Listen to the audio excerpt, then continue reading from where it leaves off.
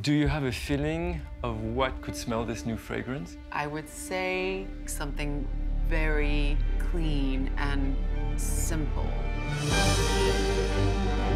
Le premier grand défi qui m'est lancé, c'est de réinventer J'adore. C'est ma première création pour la maison. Je me dis que j'ai pas le droit à l'échec. Eh, La prima cosa che mi caratterizza anche una persona è eh, il suo profumo. J'avais une idée de ce qu'était Dior. Et c'est vrai que de l'intérieur, c'est c'est tout autre chose.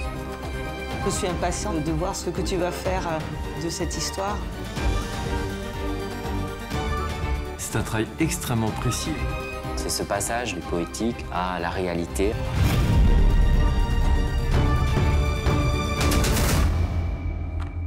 J'ai tout, en fait. J'ai tout sauf le- l'essentiel.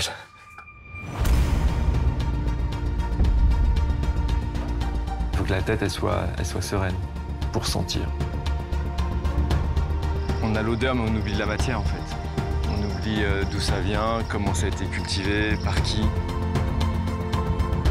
Je veux que ce soit euh, les plus belles, les plus intenses.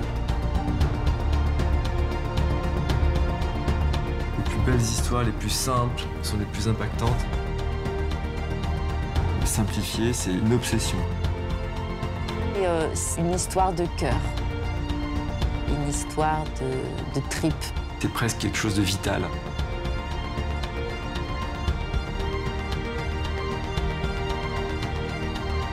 Ça peut être bien.